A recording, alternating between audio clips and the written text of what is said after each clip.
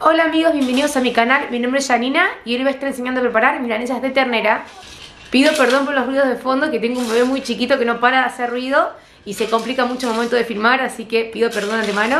Lo que me gusta de esta receta es que el resultado es muy similar al, a la milanesa de bodegón. Esas milanesas grandes que tienen mucho rebozado, a mí me encantan la verdad, obviamente fritas La pueden hacer al horno pero no va a quedar igual en este caso en particular usé eh, nalga, pero ustedes tranquilamente pueden usar bola de lomo, peseto, cuadrada, le va a salir bien igual. Después si la pueden hacer frita o no, ya eso es otro asunto. Yo como siempre esas al horno, pero tengo que serles sincera, no es lo mismo. Obviamente que frita es mil veces más rica. No olviden pasarse por la cajita de información que voy a estar dejando los ingredientes por escrito. Y como siempre les digo, no olviden suscribirse al canal que me ayudan un montón. Darle like, comentar si les gustó, qué les gustaría encontrar en el canal. Bueno amigos, no los retengo más, comencemos con la receta.